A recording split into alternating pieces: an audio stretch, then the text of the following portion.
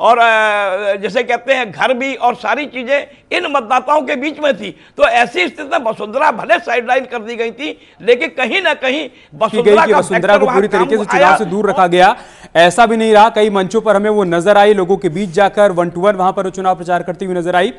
Sanjay ji double engine से आगे बढ़ते हुए बात हम ट्रिपल इंजन की करते हैं। बीजेपी के पास ऐसा नहीं कि केंद्रीय नेतृत्व और हर राज्य में जहाँ पर चुनाव हो रहा है वहाँ का नेतृत्व है।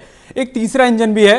वो इंजन एक चेहरे के रूप में है और वो चेहरा है यूपी से, योगी आदित्यनाथ। जिस तरीके से वो मध्य प्रदेश में जाकर, राजस्थान में जाकर यूपी मॉडल का ज़िक्र करते रहे, वो बताते रहे कि उत्तर प्रदेश में किस तरीके से हमने लॉ एंड ऑर्डर स्थापित किया, देश का सबसे बड़ा सूबा, सबसे बड़ी आबादी, लेकिन वहाँ हमने एक ऐसा मॉडल स्थापित किया है जिसको हम रिप्रेजेंट कर सकते हैं अलग अलग राज्यों में जाकर और वही योगी आदित्यनाथ की तरफ़ से किया गया। आपको लग रहा है कि उसका भी इंपैक्ट दिख रहा है? बिल्कुल अमित जी देखिए अगर हम बात करते हैं मॉडलों की सारे लोग सारे पॉलिटिकल पार्टी अपना अपना मॉडल बताते हैं लेकिन मुझे ऐसा लगता है पर्सनल मेरा व्यू हो सकता है कि जो उत्तर प्रदेश का मॉडल है वो मॉडल भी है उसके साथ एग्ज़ाम्पल भी है। देखिए ऐसा है कि लॉ एंड ऑर्डर की अगर हम चर्चा करें तो आज के दिन में उत्तर प्रदेश में लॉ एंड ऑर्डर की सिचुएशन कितनी अच्छी हुई है लोगों को महसूस होता है लोग जानते हैं। हम सब नोएडा में रहते हैं अगर ग्रेटर नोएडा जब रात में जाना हो बारह बजे तो हम डरते थे पहले लेकिन अब नहीं डरते हैं। अब दूसरी बात है कि ईज ऑफ़ बिज़नेस की बात कर लीजिए तो भैया नंबर तीन पे आ गया उसकी अगर आप जीडीपी ग्रोथ की बात कर लीजिए उसमें बढ़ गया है। सत्रह प्रतिशत अनएम्प्लॉयमेंट रेट हुआ करता तो 2017 तक अभी चार दशमलव दो प्रतिशत तो कहीं ना कहीं जो मॉडल है उसको दिख रहा है लोग महसूस कर रहे हैं। तो जो बाहर के लोग हैं जो दूसरे प्रदेश के लोग हैं तो वो भी चाहते हैं कि ऐसा कोई मॉडल आ जाए। देखिए मैं मैं ये नहीं बोलता कि मोदी योगी जी जो काम करते हैं बहुत अच्छा ही होता है। मैं एक तरफा बात नहीं करना चाहता लेकिन कई लोगों ने इस मॉडल को अपनाया माफ़ी के साथ आपको रोक रहा हूँ एक बहुत बड़ी खबर राजस्थान से यहाँ पर 101 सीटों का रुझान आ गया है। और 101 सीटों के रुझान में बीजेपी चौवन सीट पर इस वक्त आगे चल रही है। कांग्रेस पार्टी 45 सीटों पर और दो सीट पर अन्य आगे चल रहे हैं। राजस्थान में बहुत कड़ा मुकाबला इस बार बताया गया था, लेकिन शुरुआती 101 सीटों के रुझान में तस्वीर यह है कि बीजेपी चौवन सीटों पर आगे चल रही है। मतलब यह कि अभी तक तक की जो परंपरा रही है, जो रिवाज रहा है, शायद वो कायम रहे। एक बार फिर से हमें यहाँ पर सत्ता परिवर्तन देखने को मिले ये अब साफ़ होनी शुरू हो गई है। हालाँकि ये पोस्टल बैलेट की गिनती है। कुछ देर में ईवीएम भी खुल जाएगा और उसके बाद कई राउंड की गिनती होगी, लेकिन अमूमन ऐसा देखा गया है कि 10 से 11 बजे तक तस्वीर बिल्कुल साफ़ हो जाती है अमित। और इस वक्त मनराज गुज्जर, राजनीतिक विश्लेषक, इस वक्त हमारे साथ जुड़ गए हैं, जो खुद राजस्थान से आते हैं।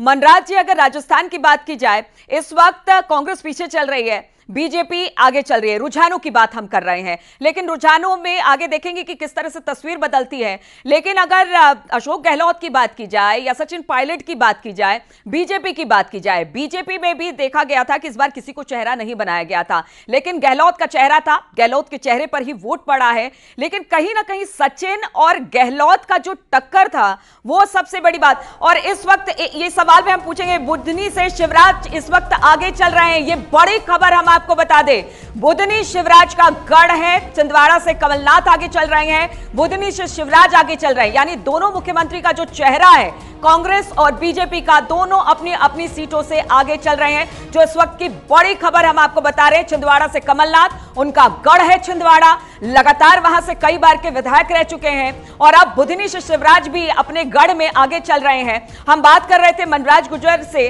कि किस तरह से राजस्थान में इस वक्त राजनीतिक उथल पुथल देखने को मिल रही है। कांग्रेस इस वक्त पीछे चल रही है मनराज जी। क्या सचिन और गहलोत का झगड़ा यहाँ पर भारी पड़ता दिखाई दे रहा है? बिल्कुल, राजस्थान की राजनीति को अगर हम ध्यान से देखते हैं तो पिछले जो चुनाव ये हुआ है, इस चुनाव में सचिन पायलट की जो खामोशी है, वो कहीं ना कहीं बहुत कुछ बता रही थी। कांग्रेस पार्टी ने वहाँ बैलेंस करने का बहुत प्रयास किया। और मैं आपको बता दूँ, टोंक विधानसभा से सचिन पायलट विधायक हैं। टोंक विधानसभा में चार सीटें हैं, वहाँ से तीन सीटें बीजेपी जीत रही है। एक सीट सिर्फ़ सचिन पायलट अपनी बचा पा रहे हैं। तो हम समझ पा रहे हैं कि सचिन पायलट का कितना इन्वॉल्वमेंट इस चुनाव में रहा है। सचिन पायलट को यह पता चल गया था कि राजस्थान में जब तक अशोक गहलोत हैं, तब तक मुझे मुख्यमंत्री की सीट नहीं मिलेगी। और अशोक गहलोत ने भी कांग्रेस के मुख्यालय पर कॉन्फ्रेंस करके बोलते हैं कि ये मुख्यमंत्री की कुर्सी मुझे नहीं छूट, छोड़ रही है। तो कहीं ना कहीं ये बता रहा है और ये राजस्थान में इसलिए बता रहा है क्योंकि सचिन पायलट की जो सभाएँ हुई हैं, वो बहुत लिमिटेड सभाएँ हुई हैं। उन्होंने सिर्फ़ राहुल गांधी, प्रियंका गांधी के साथ सभाएँ कर कर एक मैसेज दिया है कि मैं कांग्रेस पार्टी के साथ हूँ। लेकिन सचिन पायलट पहले ही ये मान चुके हैं कि कांग्रेस पार्टी इस बार सत्ता में नहीं हारेगी लेकिन पिछले बार मनराज जी हमने देखा था कि गुज्जर समाज का सारा वोट अगर सब, सभी की बात की जाए तो सचिन पायलट के साथ गए थे। लेकिन इस बार दिख रहा है कि शायद इधर उधर वोट गुज्जर समाज के गए हैं। तो क्या गुज्जर समाज को अब सचिन पर विश्वास नहीं रह गया? या उन्हें लग रहा है कि हमारा नेता उस तरह से नहीं है? क्या इस बार भी उनको सीएम प्रोजेक्ट किया जाएगा अगर यहाँ से कांग्रेस सरकार बनाती है तो? देखिए गुजर समाज ने पिछली बार पूरी डेडिकेशन के साथ सचिन पायलट का साथ दिया और उनके मन में एक ही बात थी कि सचिन पायलट को कांग्रेस मुख्यमंत्री बनाएगी।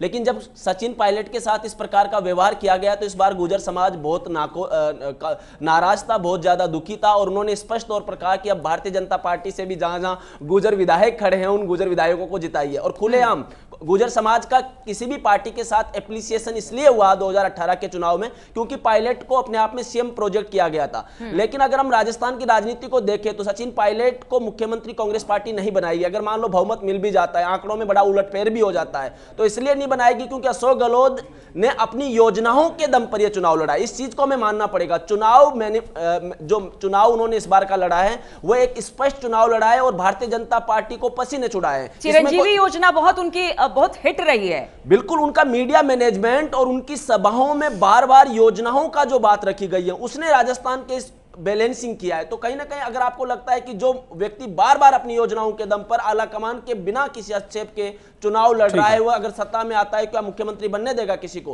पहले भी उन्होंने जो उनकी मीटिंग हुई जो विधायक दल की मीटिंग हुई उससे वहाँ पर ऑब्जर्वर्स को वापस लौटा दिया तो मुझे लगता नहीं लेकिन गुजर समाज इस बार भारतीय जनता पार्टी के साथ गया है और उसका हमें रुझानों में देखने को भी इसी पॉइंट पे मैं- मैं प्रभात जी से एक रिएक्शन लेता हूँ। प्रभात जी देखिए बीजेपी की तरफ़ से और प्रधानमंत्री मोदी की तरफ़ से बार बार हर मंच से इस बात का ज़िक्र होता है कि देखिए जी, फलानी पार्टी पीडीए की बात करती है, फलानी पार्टी ओबीसी की बात करती है। हम सबका साथ, सबका विकास, सबके विश्वास की बात करते हैं और पीएम मोदी बार बार ये कहते हैं कि हमने अपना एक वोट बैंक डेवलप किया है, ये वोट बैंक है लाभार्थी वोट बैंक। क्या लाभार्थी वोट बैंक का इंपैक्ट आपको दिख रहा है? देखिए नहीं देखिए निश्चित तौर पे जिस तरीके से अभी आपने देखा होगा कि पाँच साल के लिए एक योजना को आगे बढ़ा दिया गया। और सबसे बड़ी देखिए राजस्थान का आप फैक्टर समझिए। राजस्थान में जिस तरीके से दलित और आदिवा और का फैक्टर था वो दलित वोटर और आदिवासी वोटर जो कांग्रेस का एक परंपरागत वोटर हुआ करता है मध्य प्रदेश और राजस्थान हो वो हाँ। भारतीय जनता पार्टी के पास वापस हुआ है।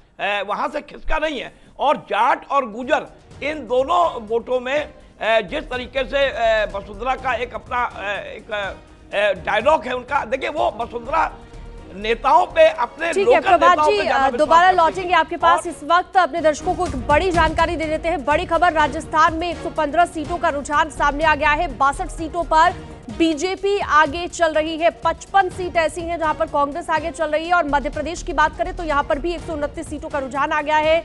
चौहत्तर सीटों पर बीजेपी आगे है 55 सीट पर कांग्रेस आगे है। और मध्य प्र... मध्य प्रदेश की भी हमने बात की। तो प्रभात जी लगातार जो जुड़े हुए हैं हमारे साथ और लगातार वो अपनी बात रख भी रहे हैं। प्रभात जी, अभी की टैली को लेकर आपका रिएक्शन बहुत तेज़ी से यहाँ पर रुझान बदल रहे हैं, बहुत तेज़ी से टैली बदल रही है और इसमें ज़्यादा फ़ायदा बीजेपी को मिलता दिख रहा है। लेकिन एक बात साफ़ है कि यहाँ पर बहुत आसानी से बीजेपी को फ़ायदा नहीं मिल रहा है, यानी कि बहुत देखने की आवश्यकता नहीं है। मैं बहुत कॉन्फिडेंट हूँ, मुझे मध्य प्रदेश के मतदाताओं पर पूरा विश्वास है। मैं ये सीटें मीटे में नहीं जाता मैं मतदाताओं पर जाता हूँ। धर दिया।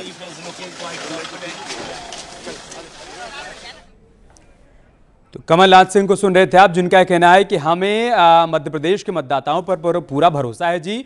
और हम चुनाव से पहले जो बात कह रहे थे, उसी बात पर अभी भी कायम है। सत्ता परिवर्तन हो रहा है। हमारी सरकार बन रही है। प्रभात जी, जल्दी से अपनी बात पूरी करिए, उसके बाद संजय जी के पास जाऊँगा।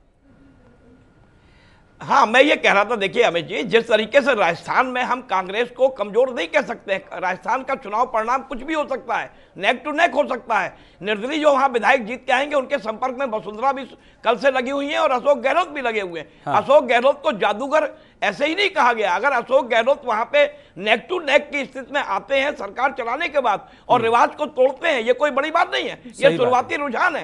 हो सकता है कांग्रेस के लिए अच्छी खबर भी हो सकती है राजस्थान से लेकिन जिस तरीके से अभी रुझान दिख रहे हैं चौवन और तिरसठ का बहुत ज़्यादा मार्जिन पिछली बार भी मध्य प्रदेश और राजस्थान में हमें यही देखने को मिला था और ये यहाँ पर करीब करीब आसपास ही रह गई थी दोनों पार्टियाँ लेकिन चूँकि कांग्रेस पार्टी ज़्यादा बड़ी पार्टी थी इस वजह से उनकी सरकार बनती है और अन्य विधायकों की मदद से वो सरकार सरकार चलाते भी हैं। संजय जी एक ज़िक्र यहाँ पर मध्य प्रदेश छत्तीसगढ़ का भी करना बहुत ज़रूरी हो जाता है कि छत्तीसगढ़ में भूपेश बघेल जो इस बार अब की बार पचहत्तर पार का नारा लेकर चल रहे थे और 2018 के चुनाव को अगर हम देखें तो बीजेपी 15 सीटों पर सिमट गई थी। अभी की टैली बता रही कि बीजेपी 28 सीटों पर इस वक्त बड़ा बढ़त बनाए हुए एक प्रकार से कहते हैं, कह सकते हैं कि बड़ा गेन है बीजेपी